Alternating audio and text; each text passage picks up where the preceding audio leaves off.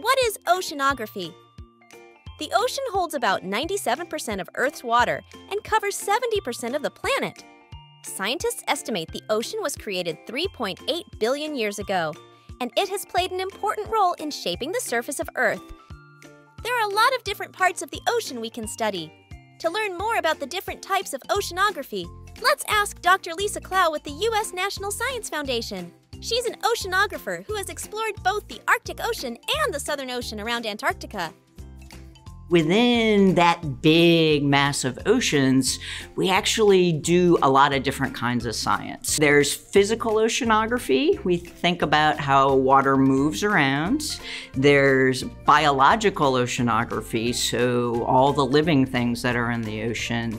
And there's chemical oceanography, so paying attention to individual chemicals, and then we have geological oceanography that really deals with anything that's happening on the sea floor uh, and down into the center of the earth as well. So oceanography is many things.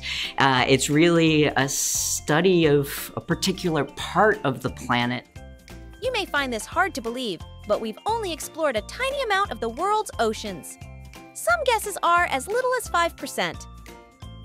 The ocean is fascinating to explore and observe, but it is also important for all life on Earth.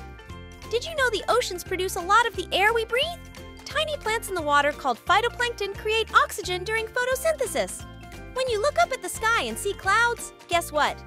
Oceans play a big role in making those clouds. They release water vapor into the air, and when it goes up, it forms clouds.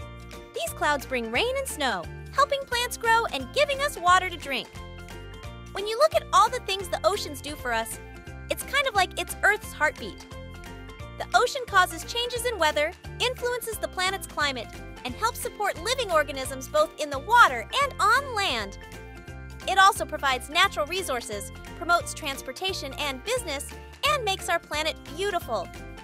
It is our responsibility to learn about our ocean so we can understand how best to protect it and its many functions that are crucial for our planet's survival.